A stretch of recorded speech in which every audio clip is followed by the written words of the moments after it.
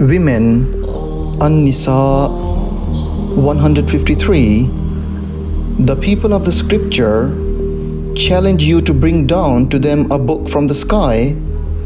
They had asked Moses for something even greater. They said, Show us God plainly. The thunderbolt struck them for their wickedness. Then they took the calf for worship. Even after the clear proofs had come to them, yet we pardoned that, and we gave Moses a clear authority, and we raised the mount above them in accordance with their covenant. And we said to them, Enter the gate humbly, and we said to them, Do not violate the Sabbath. And we received from them a solemn pledge. But for their violation of their covenant, and their denial of God's revelations, and their killing of the prophets unjustly, and their saying, Our minds are closed. In fact, God has sealed them for their disbelief, so they do not believe, except for a few, and for their faithlessness and their saying against Mary, a monstrous slander, and for their saying, We have killed the Messiah, Jesus, the Son of Mary, the messenger of God. In fact, they did not kill him, nor did they crucify him, but it appeared to them as if they did. Indeed, those who differ about him are in doubt about it. They have no knowledge of it, except the following of assumptions. Certainly, they did not kill him. Rather, God raised him up to himself. God is mighty and wise.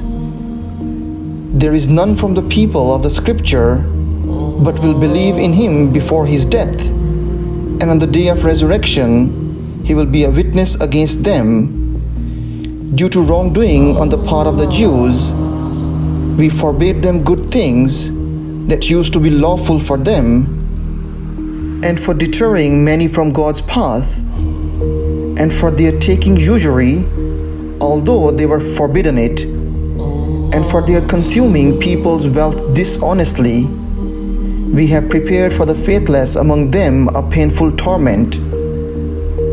But those among them firmly rooted in knowledge, and the believers, believe in what was revealed to you and in what was revealed before you, and the observers of prayers, and the givers of charity, and the believers in God and the last day, upon these we will bestow an immense reward.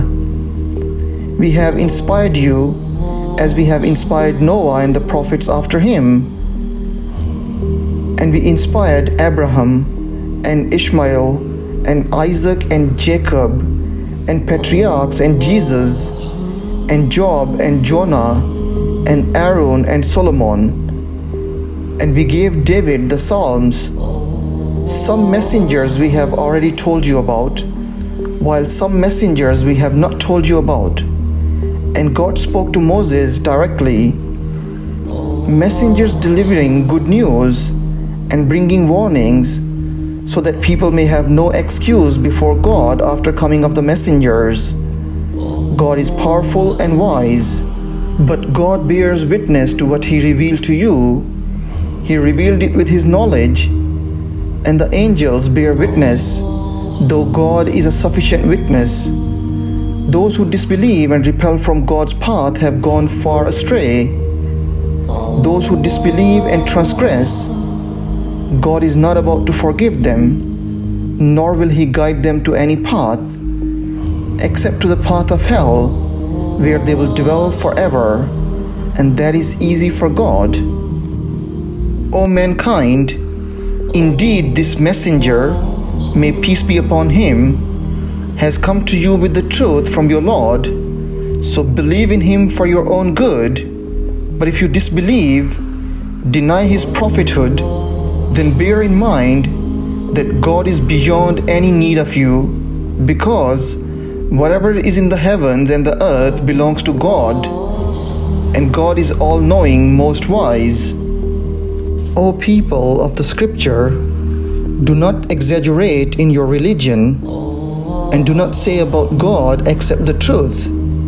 The Messiah, Jesus, the Son of Mary, is the messenger of God, and his word that he conveyed to Mary, and a spirit from him.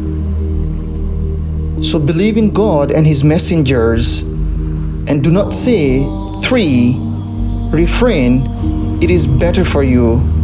God is only one God. Glory be to him that he should have a son. To him belongs everything in the heavens and the earth, and God is sufficient protector. The Messiah does not disdain to be a servant of God, nor do the favored angels. Whoever disdains his worship and is too arrogant, he will round them up to himself altogether. But as for those who believe and do good works, he will pay them their wages in full and will increase his grace for him. But as for those who disdain and are too proud, he will punish them with an agonizing punishment, and they will find for themselves, apart from God, no Lord and no Savior. O people, a proof has come to you from your Lord, and we sent down to you a clear light. As for those who believe in God and hold fast to Him, he will admit them into mercy and grace from Him and will guide them to Himself in a straight path. They ask you for a ruling, say, God gives you a ruling concerning the person who has neither parents nor children. If a man dies and leaves no children, and he had a sister, she receives one half of what he leaves, and he inherits from her if she leaves no children. But if there are two sisters, they receive two thirds of what he leaves. If the siblings are men and women, the male receives the share of two females. God makes things clear for you, lest you err. God is aware of everything.